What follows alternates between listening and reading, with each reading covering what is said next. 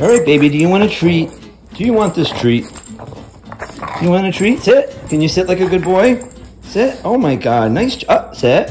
Nice job, honey. Do you want this treat?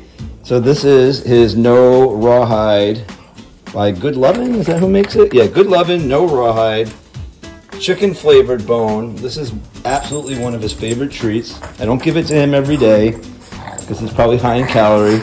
But as you can see, he's jonesing for it. Okay, honey, sit like a good boy, and I'll get it to you, okay? All right, do you want this? Do you want it? Yes?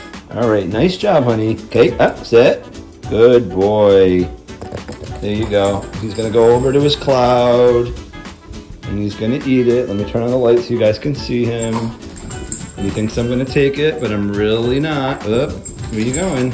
Okay, eat your treat. Nice job.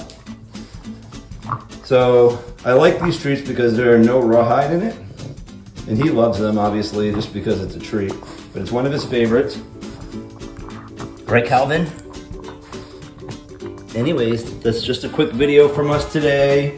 Thank you guys for all your support. Our last video did pretty well. And uh, we'll be posting some more videos shortly. And uh, we haven't been live in a while, so we'll probably go live at some point in the next week or two. Hopefully next week. And I may do another trivia. So stay tuned for that. Thank you for all your support. And we'll see you guys in another video. Right, Calvin? Thanks, everybody.